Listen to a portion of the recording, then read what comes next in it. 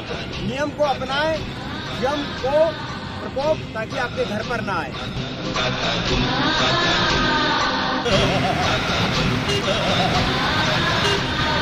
धर्म रक्षा। यम है हम यमराज गदा पाश हमें हरदम।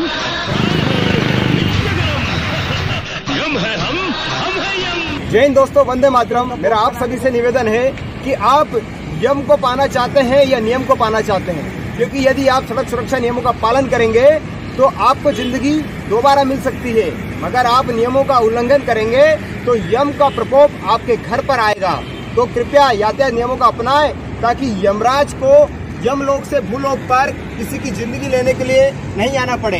लेकिन हमारे जो यमराज है ये ज़िंदगी लेने नहीं ज़िंदगी बचाने सड़कों पर आए हैं ताकि आप नियमों को समझें और यातायात नियमों का पालन करें। क्योंकि भारत देश में डेढ़ लाख से ज़्यादा लोगों की मौत सड़क दुर्घटना में होती है और करीब साढ़े पाँच लाख से ज़्यादा लोग गंभीर रूप से घायल होते हैं। शायद यमराज जी इस बात से काफ़ी चिंतित है और इंदौर की सड़कों पर आए हैं। तो मेरा निवेदन है कि यमराज खाली हाथ जाए, किसी की ज़िंदगी लेके ना जाए।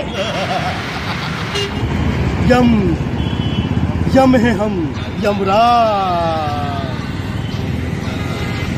जो नियम का पालन नहीं पालन नहीं करेगा, उसको हम इस रस्सी में खींच के ले जाएँगे। इसलिए सभी से निवेदन है कि सुरक्षा के नियमों का पालन करें और अपने जीवन को जो अनमोल है, उसे बचाएँ। इसलिए हम आपको बताने हैं और आपको समझाने आए हैं कि हेलमेट पहने यम नहीं तो यम।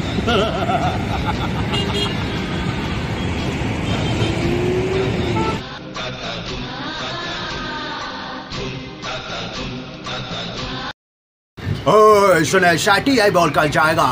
अंजलि तुम गाड़ी चलाते समय हेलमेट ना पहरे हुए हो नहीं सकता जय हिंद दोस्तों वंदे मातरम मैं हूँ आपका दोस्त सुमन सिंह। दोस्तों मेरे साथ में हमारे प्यारे मित्र दीपक नीमा है, जो कि एक मिमिक्री आर्टिस्ट हैं। और यदि मिमिक्री के माध्यम से कोई रोड सेफ्टी का संदेश देना चाहें तो वो किस तरह से देगा? चल इधर। ए, अब्दुल, चल इधर। आ देख, नाना तेरे को बताना चाहेगा।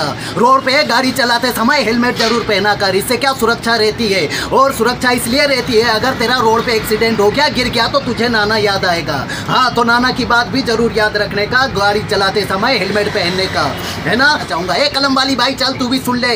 गाड़ी चलाते समय साइड लाइट ज़रूर देना, नाना यही के कर जाएगा। अच्छा है। ओए सुने, शाटी आई बोल कर जाएगा। अंजलि। तुम गाड़ी चलाते समय हेलमेट ना पहरे हुए हो, नहीं सकता। और मैं तुम्हें हेलमेट के बिना देख लू, ये मैं होने नहीं दूँगा। अंजलि, हेलमेट ज़रूर पहनना। कमाल करते हो, बरखोरदार। प्राण यही कह कर जाएगा। कार या कोई सी भी बाइक चलाते समय ड्रिंक नहीं करे, इससे एक्सीडेंट हो जाएगा और आपके प्राण भी जा सकते हैं। फिर मत कहना कि माइकल दारू नहीं पीकर भी दंगा करता है।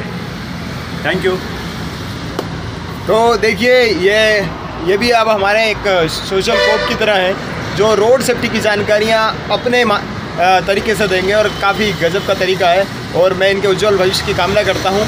और कृपया सेफ़ राइड करें सेफ़ ड्राइव करें। सड़क सुरक्षा, जीवन रक्षा।